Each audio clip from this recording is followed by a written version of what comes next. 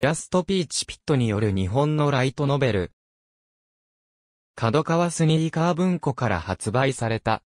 危機的状況に陥った主人公たちが生き延びるために奮闘する姿を描いた作品。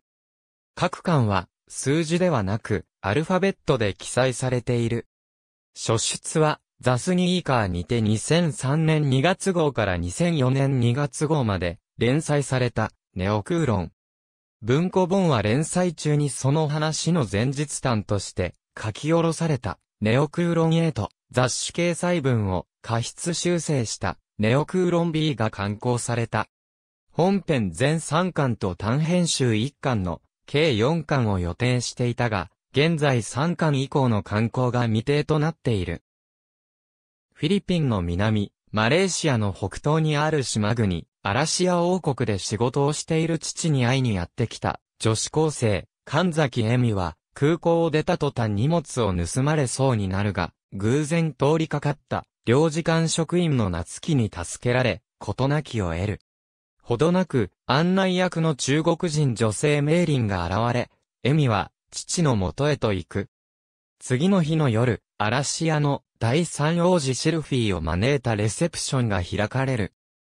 その席で、シルフィーから王宮へと招かれ、翌日宮殿を訪れるが、突如クーデターが勃発し、エミとメイリンはシルフィーを連れて、王宮を脱出、反乱軍の手を逃れるため、アラシア中の日本人と共に、国外へ脱出できる300キロ離れた空港まで、決死の逃避業を余儀なくされる。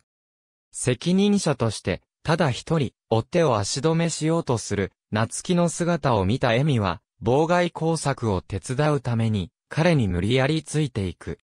嵐屋の事件から10年、日本は、経済力が低下し、埋め立て地として作られた裏の島、通称、ネオクーロンから得られる、莫大な借地権収入に依存していた。しかし、そこはマフィアたちがはびこる、真島となっていた。シルフィを守ったことで、逆に政府から冷遇されることになってしまった夏希は、裏の島交番へと左遷され、中高等として、日々を無気力に生きていた。一方、エミはサットに入隊し、ユニコーンレディと呼ばれる凄腕の美人警察官へと成長していた。そんなある日、裏の島交番に一つの落とし物が届けられる。それはマフィアたちが是が非でも手に入れたい代物だった。そうとは知らない、夏木徹は、落とし物を奪おうとするマフィアたちの猛攻をしのぎ、生き残るための懸命の籠城戦を強いられることになる。ありがとうございます。